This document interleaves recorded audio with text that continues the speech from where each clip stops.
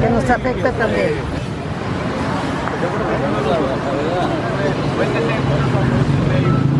Levante la mano los que... Levante la mano los interesados, por favor. ¿Cuántos son? ¿Interesados? ¿Cómo? ¿Cómo? Levanta la mano.